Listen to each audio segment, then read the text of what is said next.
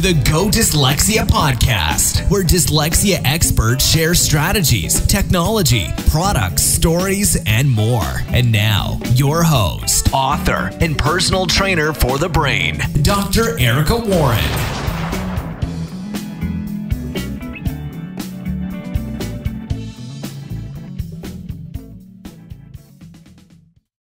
I am so pleased to feature Winston Chen, the author of my favorite app for readers with dyslexia, as my first of many free video podcasts for Go Dyslexia. Winston founded Voice Dream while on sabbatical on an island north of the Arctic Circle, and his flagship product, Voice Dream Reader, is an amazing assistive technology device that assists with text to voice or audiobooks. This top selling iOS app has a recent free comprehensive update with some new extraordinary features. Come learn about this creation and view a demonstration of this amazing tool that is changing accessibility of the written word for individuals with dyslexia around the globe.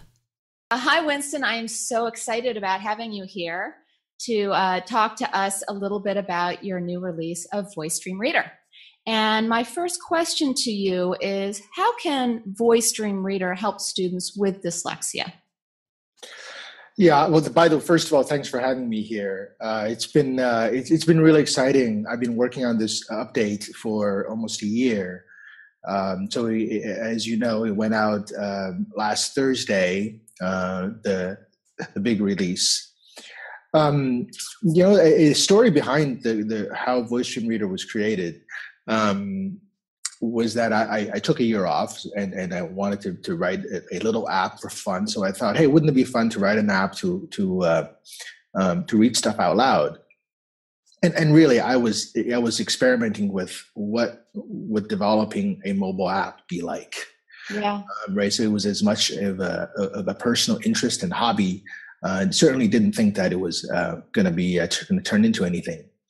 Um, but I, I, remember the first email I got um, was a teacher, and he says, "I've got this great student. Uh, he's really good in math math, uh, except he has trouble taking exams because um, he has some sort of reading disability." Um, and later, I mean, I didn't even know what dyslexia was, so I, I you know, this yeah. this was a whole new world to me.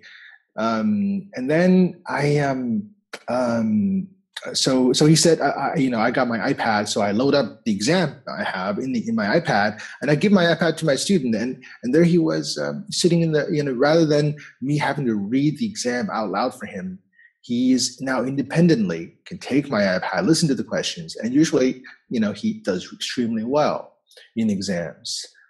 Um, and I, I, was blown away by this email. Never thought this little app, which I meant as a productivity tool, uh, could have this use.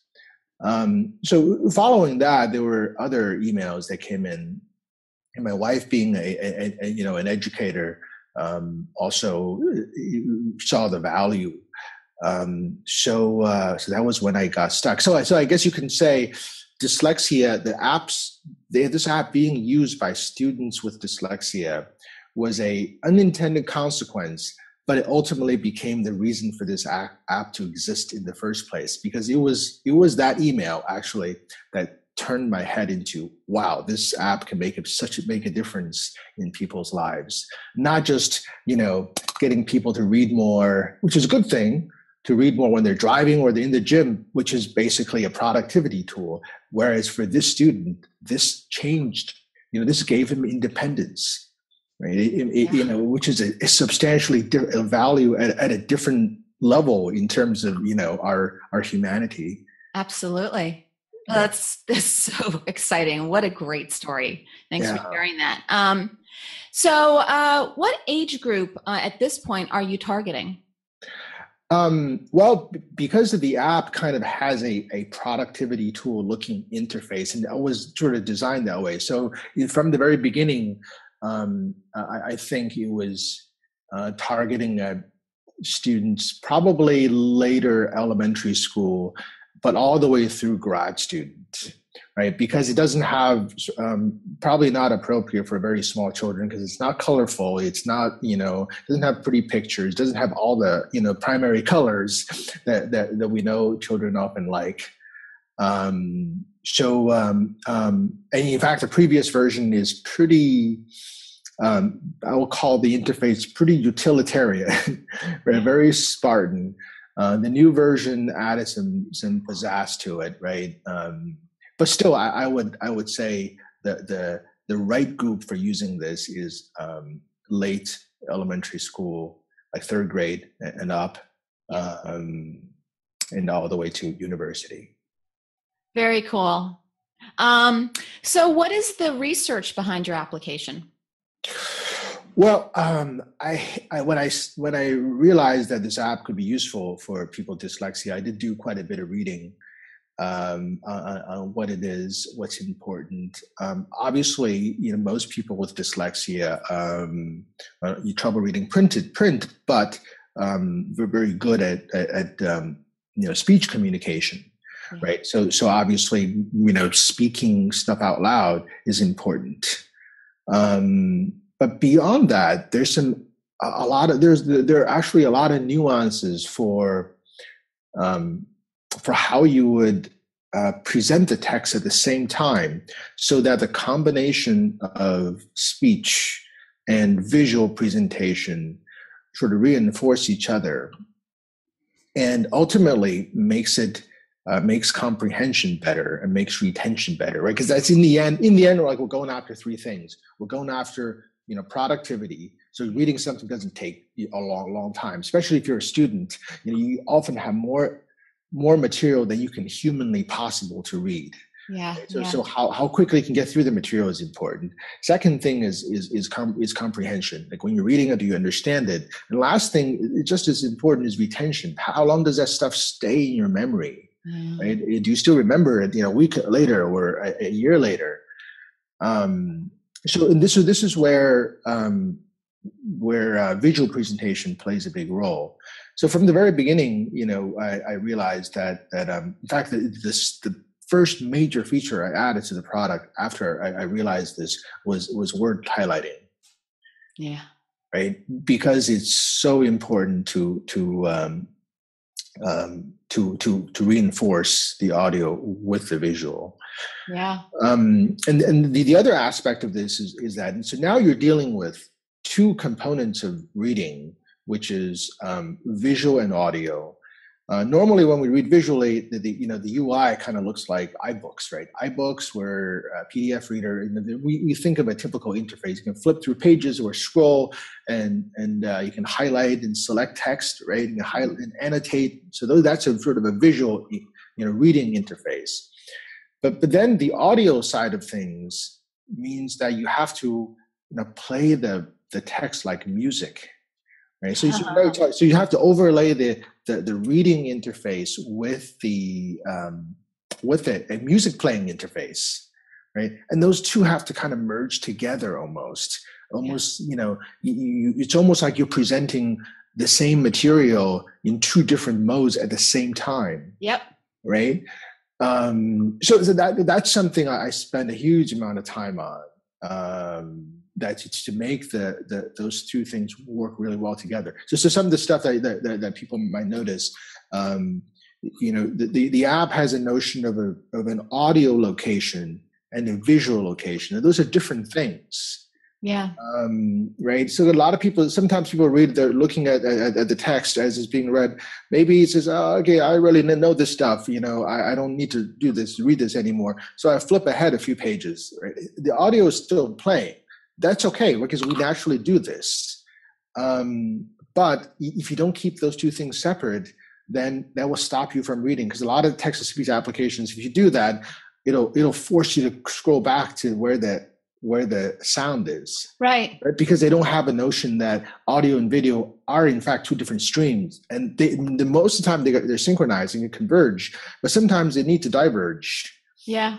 Um, so just just some small things like that, and and also uh, highlighting. You know what I um, at least user feedback and tells me that a lot of text highlighting applications you have this cursor that jump jump jump jump from word. Yeah. If if you look at Voice Dream reader carefully, the, the the motion that the highlight goes through the text is very smooth. Yeah. Right? So so so what that does is that and and that and the the, the, the way you animate the highlight as it changes shape and moves location, um, you know, the fact that it's animated and smooth means it's less it's it's less mental burden on you right? Less distraction. You feel like you're you're you know it's just like music right? It's not you know sound doesn't come come come at you in jumps right? Sound comes comes to you in in a smooth flow. Yeah. Um anyway just you know a couple of small things that that you know that, that the app does that that you know makes it particularly useful for people with dyslexia yeah, and and what I really love is I love the fact that you can change the colors of the text, you can change the colors of the background, you can change the size, which is so key for so many of my students because you know color overlays are pretty huge. Mm-hmm. You know, uh, a lot of students really struggle with the contrast of black and white and you know you there a lot of people even buy these glasses which change the background color. Right right. So you're kind of providing that at the same time which is which is super cool. And then you can pick whatever color resonates with you in the moment. Yeah. and, and and it's just not having such an intense contrast of white and black makes it much more soothing for the eyes. And i know for myself it makes a huge difference to be able mm-hmm. to change the color background and just psychologically feel so much more comfortable and not nearly as much of a strain on my eyes. So I love that. And I also love the fact that because you're creating this app, it has, I tell my students to do actually one of two things when they use Voice Dream Reader. Either you read along with with the text and, and as you're listening, and that will improve your sight word vocabulary. Because mm-hmm. you'll see a word and, and you'll start to pair it properly. But the other option is to just close your eyes and visualize. Because so many kids with dyslexia, they can't they can't visualize. And the reason why is because they're overtaxed and they don't have the cognitive space to do it. So it really enables them and gives them the ability to practice visualization. And um, I work with students all the time to expand their capacity to visualize. And uh, and and this has just been an incredible way to help kids to really exercise that ability. So it's yeah. Yeah. Um, I, I also feel like um, when it comes to because visual reading is such a struggle for for for a lot of the students, any any small thing you can do um, can make a huge difference, right? Because we know with reading, you know, your level of comfort, um, you, you know, even a, a small difference, if that can you know if that can um, uh, get you get somebody over the hump yeah. um, right? And then then reading sort of changes become something that's a complete burden and impossible to something tolerable at least. Right. Right? So so some of the research that, that, that we've seen um, on uh, let's say font right? It's not conclusive whether special fonts really help right, right? but if it helps you know 5% of the people and they can change the font all of a sudden like oh yeah this is it feels much better to me. Yeah absolutely you know, makes a difference. Um, the other thing you know you probably you, you know matthew dr matthew schneps um, he did a lot of research on spacing.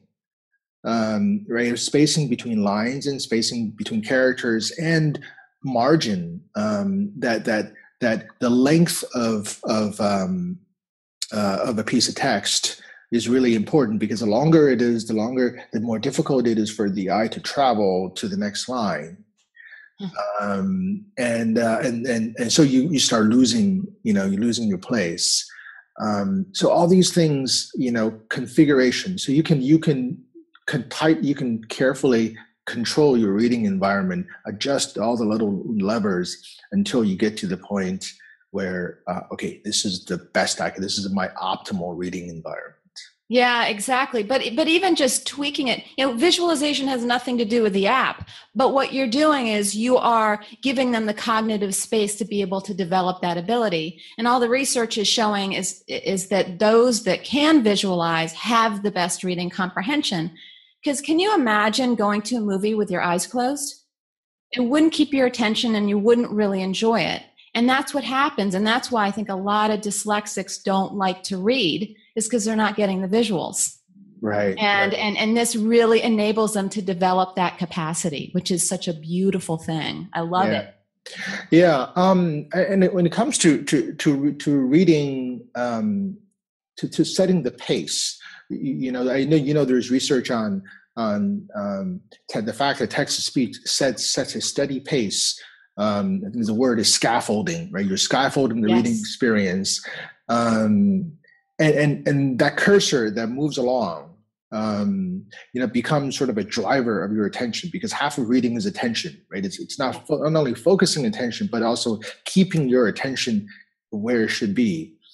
Um, so, um, uh, you know, also, also the, the Dr. Schneps published this paper about how um, he proposes one way of reading, which is to use text to speech, um, but rather than your eye reading the word that's being spoken, your eyes should be reading ahead. Yeah. Right. And, and then, um, uh, and so the sound comes later. So now your mind is doing two pass processing on, on, on the text. First, you, you see it, um, then the sound comes later. But if you have trouble sounding out a word, that's okay. Don't worry. You, you, you, you tell yourself, don't worry about it because I know the sound is coming later. Um, yeah right? So so this so now then you know we as, as you know you know I, I, met a mutual friend of ours uh, last week. Mid-aged guy right? Been dealing with very successful man uh, own his own his own business. Um, but also um, having um, you know having coped with his dyslexia his, his entire life. And also discovered this way of reading. So he likes to right independently that he says, I just like to read a little bit ahead. Uh, and, and, that was really, you know, really revealing to me that, that here's two people um, independently discovering that, you know, you can use that cursor in a different way rather than using that cursor to highlight the word that's spoken. Yeah. Use that cursor to drive your attention forward. Yeah. And yeah, and this friend of ours also uh, said to me that he's actually read more books uh, in the last year than he has in his whole life, which is which yes. is amazing, and that's purely yeah. because of the voice dream reader. Mm. Yeah, that's it's great to hear. yeah, it is very yeah. exciting. So, uh, what are some key features to Voice Dream Reader? Because you've obviously updated some things. Do you want to review some of those for us? Uh, sure. So, um, let me. Uh, uh I can actually pull up the simulator uh, okay. on my Mac. Uh, so let's see. Um, so this is the main the main reading interface. And by the way, one, one of the one of the improvements is that it's showing covers of documents from the previous. And this is really good for people with dyslexia because mm-hmm. um, the way you you would um, you wouldn't need to read the title anymore, right? You can even for, for a PDF document, the fact that you're looking at the first page means it's it's easy for you to find it. Um, and uh, so here is the uh, here is a book. I always include this. Um, so one feature is this. Um, we talked about um, having the cursor be the driver of attention. Uh, to take that step further, um, I call it the Pac-Man mode. Uh, so we can turn on Pac-Man mode and see what that looks like. Uh, let me check what, what voice we're using. Um, Lisa is fine. It's an Australian English voice. So now if I start reading. Um, Returned she for Mrs. Long has just been here and she um, told me all about it. I'm not Mr. sure if Mr. Bennet made no answer. Do you not so I'm not sure if you can you can hear the sound, right? So what happens that the words disappear? Um, and for some people, they just, this just might benefit. This just might act as a as an additional. Oh yeah, that's motivator. brilliant! Holy moly, I love that because it it really focuses your attention, and so everything that you've already processed disappears, and it's not there distracting you. Yeah, yeah. Wow, that's very cool um, so, so that's one that's one new uh, new new feature I, have added. By the way, one thing I, I haven't talked about, um, maybe um, interesting to, um, to to some users who maybe don't know this product as well. Um, you there's this mode where uh, and you can tap on the full screen. So now you have a completely distraction-free reading environment that auto scrolls. Right. So let's get this going. wants to know who has taken it cried his wife impatiently. You want to tell me and I have no objection to hearing it. This was. Um, so, um, so, so what, what, what that does is that again, you're, you're it, it takes the work of your eyes moving across the page away from you. Um, and how did you do that feature? Uh, it, it, was actually pretty hard when uh, um, to be because I guess it's the difficult part is not um, it's it's not moving the text, but it's doing everything in a smooth way. Um, as you notice that when when it scrolls, the highlight also moves, you know, animates, just yeah. merges to that point. So you, there's no there's no cognitive load, right? It just moves. Um, it, it moves in in a, in a in you know in the way you would expect. Yeah, it's great. Um, and how do you access that feature on the uh, app? Um, a couple ways to do it. Um, the simplest way is to just squeeze. Uh, oh, that makes it easy. Yeah, and then to, to, get out of it, just uh, just unpinch. Um, well, another thing, I, I, you know a simple f- feature, but a lot of people I got really good feedback from this.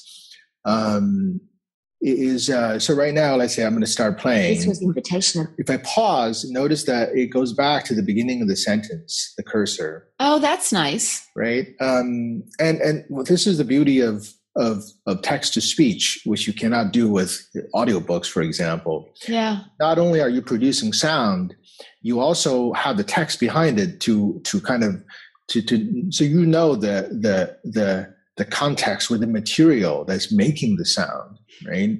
I mean, you, know, feel very few of us would when when we stop speech that we want to pick up in the right in the middle of a sentence, you know, a few minutes or a few hours or a few days later, right? I mean, the, the sentence is such a a, a, an atomic unit of, of, of, of, conveying meaning that there's no reason when you start push play, you should start playing in the middle of a sentence. Yeah. Um, so you know, very simple, simple feature, but I think um, should should really help um, help help people. Uh, yeah. Uh, so, there are lots of small little things that the average person wouldn't even notice, but now that you think about it, it's like, wow, that's that's incredible. Yeah. Um, when the, some other features that are useful, um, just from a product, this is it doesn't show that here. Is um, for PDF files, a lot of times are headers and footers that repeat, uh, uh, you know, every page. Um, so there's a new feature that lets you uh, define the margins so that the oh. text in the header and footer would, uh, would get skipped. That's nice. Um, what else? Um, finger reading. Uh, there is I I um uh, and this is this is uh, sort of experimental. I wanted to uh, I thought of this idea I wanted to throw this out there and, and get some feedback. Um, and, and, the reason is that I, I heard from a, from a few teachers and special ed teachers and assistive technology uh, uh, professionals that some of their uh, students um, find even the slowest reading speed to be too slow, to be too fast. Um, in um, if you use Heather or Sharon or any of the the Acapela voices, they can go down to 50 words per minute, um, but they would be sound like this. It'll be very slow. Oh right? yeah. Um, and so sometimes I even find even I find that to be too slow, and also it, the sound will get distorted. Yeah. Um, so they ask, is there any way to, to kind of improve the situation? So then I thought, well, um, if you're reading that slowly, you know, you're probably looking at every word as a as a unit. Yeah. Um, so then, can we, you know, use let the student set the pace himself or herself? So then the idea is that you can, you know, you can uh, you you can touch the screen um, and then move your finger um, and and the text to speech engine will speak one word at a time. Um, and and so this way the student can entirely set the pace uh, himself or herself right, which may be helpful for uh, beginning readers. Absolutely. I actually tried it and i love it. And and i think what you've really done is you've just expanded this app to work for any age and that feature and you said it you know that it's it's not that colorful but it but it can be you can make it as big as you want and as colorful as you want by changing the background and changing the colors. And I think just by having that new that new option where they can have it read by you know having the child put their finger underneath the line is just really making it a, a, a terrific option for mm. young learners. Yeah, yeah. Well, uh, looking forward to some feedback. Uh, is it uh, you know I'm concerned whether it's easy enough to use, easy enough to to to activate, right? Uh, and this is something I want to you know I want to keep working on and making sure that that uh, the ease of use uh, improves over time. Yeah. Um, another feature is um, uh, support for for for images. Um, well, unfortunately, I, I don't have a a, a, a book with images here. Um, but um, uh, if if a, a, Bookshare book contains images, um, you can get into a mode where it will show the images as well as uh, as the text. Again, it's something that will be helpful for for younger readers as well as um, you know older readers with textbooks that are you know say geography textbook, right? You kind of need to yeah. Yeah, yeah. No, I've actually looked at the feature and I really, really love it. And it's just great for the kids that the little kids that really want to see all the pictures. And again, that makes it so much better for the young learners because they really rely on the pictures to help them to learn how to visualize.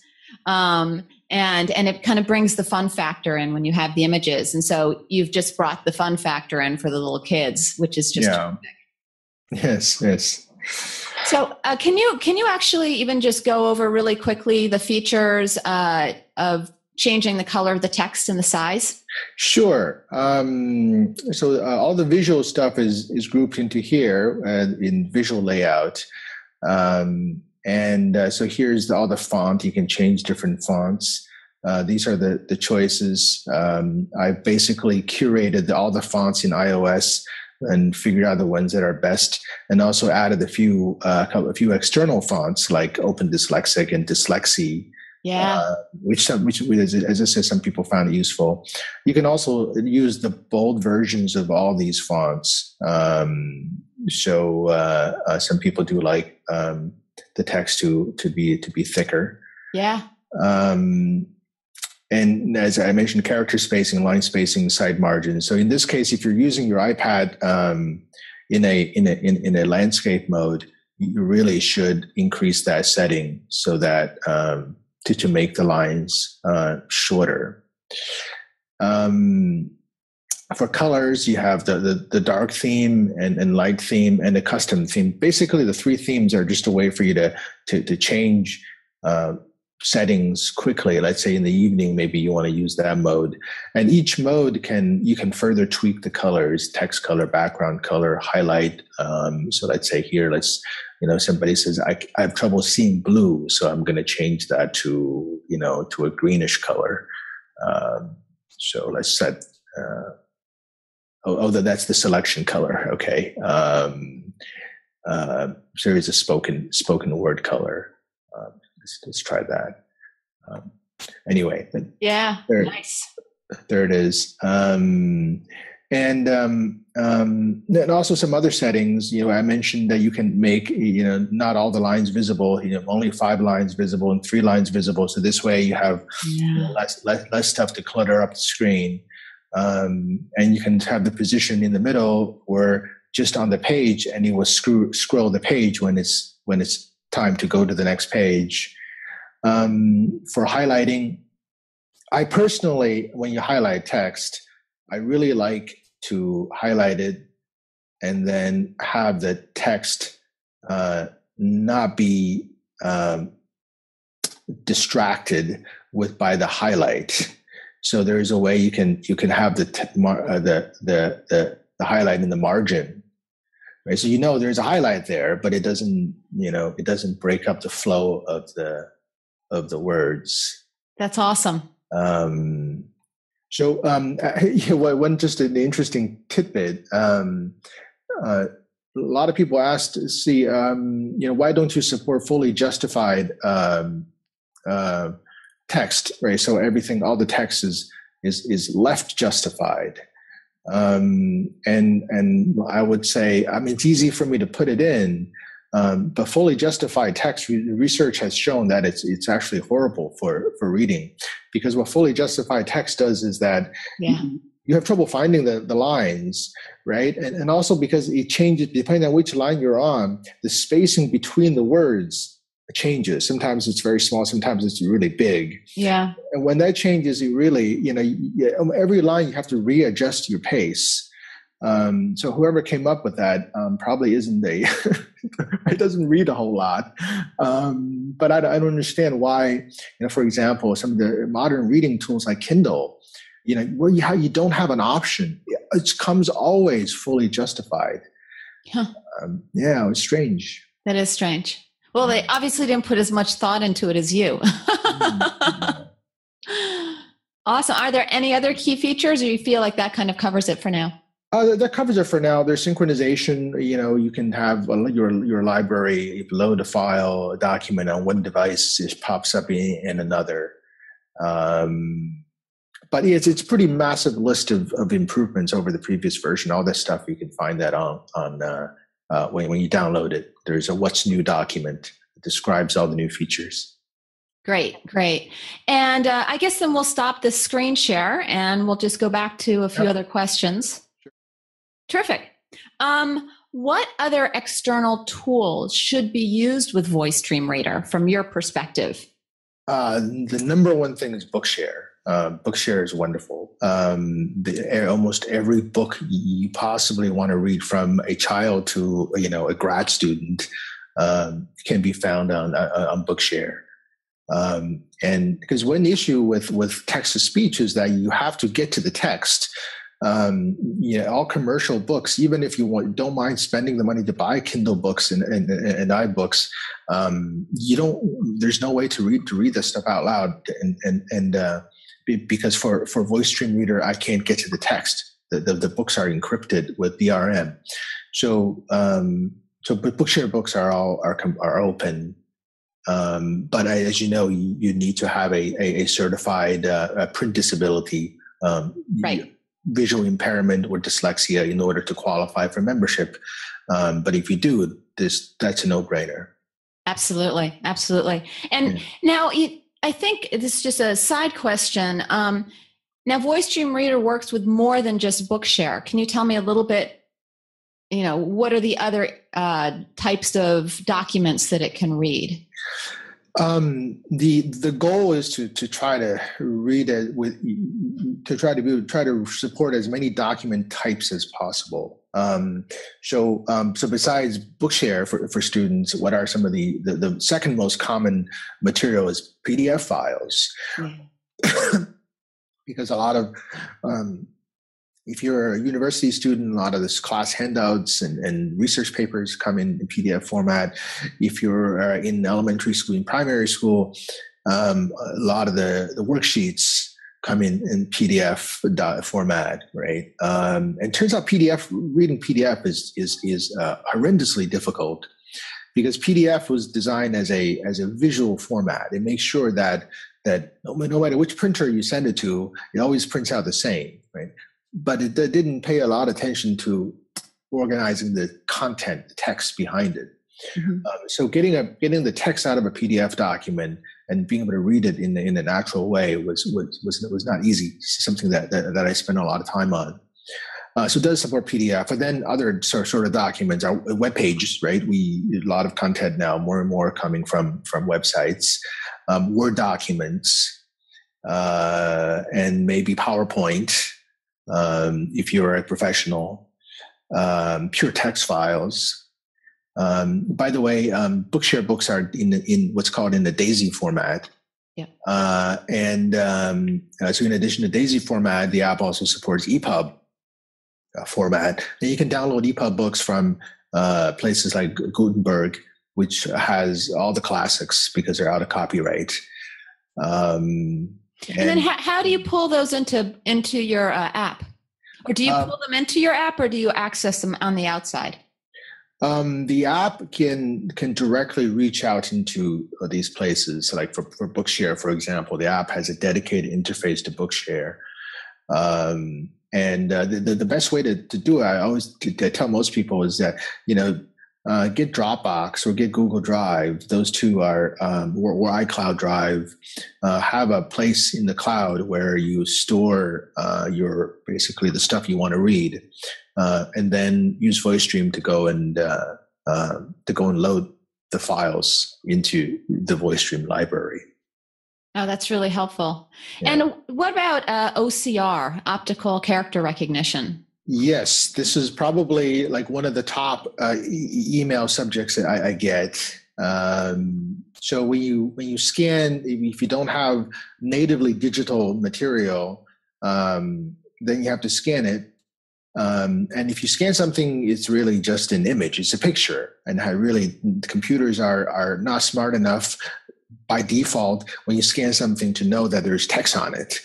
Um, so you have to go through this process called OCR, which converts uh, images to text. Um, the app does not have built-in OCR, and, and, the reason is that OCR as a technology is fairly expensive to license, uh, and having that will really add to the cost uh, uh of the product. Secondly, there are a lot of products out there that do OCR already, especially products that can use the iPhone or the iPad, use a camera on it as a, as a scanner and produce a PDF document that's been OCR'd, which means that there, the, there's text behind the, the, the, images. And if you have a PDF document that's been OCR'd, um, then you can load that directly into Voice Dream and, and, and read it. And the workflow is actually not as difficult if you get used to it. It's not as difficult as you might imagine, right? Open up one app, take a picture of the page, um, which creates a PDF file, and you say open in Voice Dream, and then it pops into Voice Dream and hit play, and you go, right? It's, yeah. I don't think I even if I if, if I had added that feature in in Voice Dream Reader, I you know will probably take one extra tap. That's right. So, so what uh, OCR program do you recommend? Um, from what I uh, from from user feedback, um, the, the, the best of the bunch is probably a Abby A B B Y Y Fine Reader. Um, they have a, a, terrific OCR engine that also happens to to work in a lot of different languages. Um, there are also cheaper option, options available. I just uh, I just downloaded the one called um, I haven't tried it out called Scanner Pro. Um, it was on sale in the App Store. Um, I also tried. Um, uh, see, I, have got a I've got a whole bunch of those here. I also yeah. tried tried Cam Scanner, and that one's very inexpensive, um, which also works. Snap to PDF, that's another one. Also, both of those are, are very inexpensive. So uh, you know, there there's so many of them. Yeah, I'm there sure. There are. There are. And I use Prizmo, and I really love Prizmo. Yeah. Um, and, and yeah, um, so so lots of um, lots of them in different price ranges. Yeah, and they even have some free ones online. So if you just look around, you can usually find them. Um, easy to find. What yeah. about the Kindle? Uh, well, it's a touchy subject. Um, you, you know, uh, there are there are tools out there if you if you have a large library in kindle there are tools out there that can um, convert your kindle books into a format that can be loaded directly into Voice Dream Reader. Um, so there are two things you have to do because kindle is is encrypted with what's called drm uh, and there are tools that can remove that which means to decrypt the file so that they can be accessed outside of the Kindle read, book reader. Um, and the second step is that Kindle uses what's uh, called a, Mobi format of ebooks. I think they're the, the, only ebook distributor that uses that format. Um, and um, uh, that has to that has to be converted converted to EPUB, which is a more a more of an open standard uh, that, that a lot of book readers can use, including Voice Dream Reader. So, um, uh, and if you get it set up, it's not that hard. Um, I, I, can't comment on whether it's legal or not. Um, I think there at least at minimum there are differences of opinion uh, about it. Um, but but but certainly you know ethically speaking, um, I I'm not bothered by it because it's not like I'm distributing the book to you know to everybody. You know, I'm I'm doing it for my own personal use. Um, but but right. then again, right? I, I wanted to to let people know the option is is there, but it's your decision on whether you want to do it. Are you comfortable explaining to people how they can do it? Um, yeah. Um, so there is a website uh, called Apprentice Alf. Uh, apprentice, just like the word apprentice, Alf, A L F.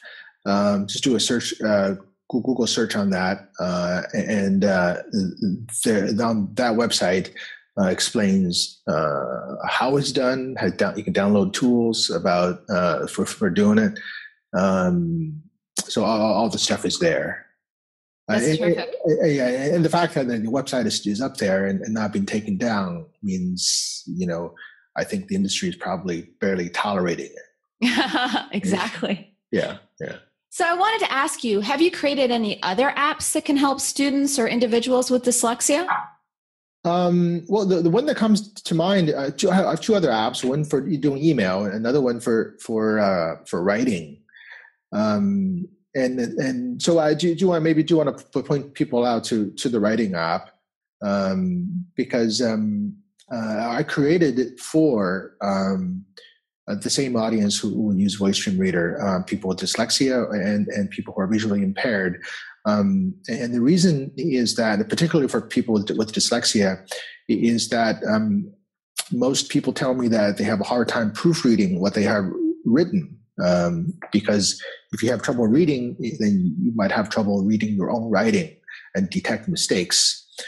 So, um, so that was the that became what became the central feature in the product is that it, it's an editor with built-in proofreading. Because I know a, a, lot of people with dyslexia uh, use audio text to speech to proofread. Uh, right, using if you're writing on a Mac, you, you are selecting the text, then you say play, uh, then it plays that for you. Um, and a lot of people use the what's on an iPad. You can also do the same thing: select and then speak. Um, but the problem with that is you know you have no almost no control over um, the text to speech engine. You can't stop and say, "Oh, there is a mistake." I'm just, you know, stop and, and I want to correct it before I forget it, right? And then resume playing. All this stuff. There's, it's not the, the the workflow there is really difficult. So so I I, I so I envision a product where reading and proofreading sort of are more naturally integrated. Yeah. Uh, for, also, for example, you can use dictation uh, on the iPad, which is which is really good, high quality uh, speech recognition um, that transcribes, you know, very accurately. But the problem is that you don't know whether they did the did, did perfectly you know did what you intended. So there's mistakes in there. How do you hear it right? So with Voice Dream Writer you can use dictation and when you're done dictating you reads right back what you what you just dictated. So you can you can check uh, for for mistakes. Yeah, and yeah, I, I often tell kids to use that because you might write, you might have intended to write from, but you wrote form, mm-hmm. but the mm-hmm. brain would not see that but the brain would hear it immediately. Yes, yes. Um, and proofreading also is it's a it's you know it's a uh, the different levels of proofreading. Sometimes the proofreading for content, for th- ideas. Sometimes the proofreading just to find, you know, the the mechanical mistakes. Yep. And, and when you're doing that, the latter, you you know, you want to hear the punctuation. Right? You want to hear, um, you know, capital. Somewhere something's capital or not. You want to hear um, uh, whether a word um, let's say red r-e-d and r-e-a-d if a word if the same sound can can denote different words you you, you want to spell it out. You want to say this is r you know red r-e-d versus r-e-a-d um, so you want you want that to be more you know more uh, detailed right? Uh, so the so the, the app also supports those different ways to to proofread. Oh that's really nice. Yeah and i funnily funnily enough that sad thing to to to admit is that I would find that probably of all the students that I work with, probably 75%, 75% of them don't even proofread. So the fact that they're kind of doing it as they go mm. is is brilliant because once they're done, they've typed that last word, you know, they email it to their teacher or they print it out because they're done with it. And I often tell them, wow, you know, in five minutes, you could change your grade significantly if you just read over it. But many of them don't want to. Or this is the other thing is it's incredibly hard to dic- to, uh, to edit your stuff uh, right after you wrote it. Mm, and uh, so if you can listen to it mm-hmm. uh, you'd probably be more apt to hear your mistakes than see them. Yeah, yeah. I, I do all my writing, uh, long form writing. In if I do a write a blog piece or, or uh, the documentation for Voice VoiceStream Reader, the the update is all written in, in, the writer because even you know I don't have dyslexia, but I I, I hate proofreading. Uh, so so if, if the if if the voice in the computer is speaking it for me and I can you know hear it, uh, that somehow makes it more tolerable. Yeah, absolutely. Well, thank you so much. This was just such an exciting uh, opportunity to be able to uh, interview you and and learn more about uh, Voice Dream Reader. And I can tell you right now that I already learned some new little tricks. So this has been really exciting and really helpful. So thank you so much for joining us. Great. Thank you for having me. It's been great.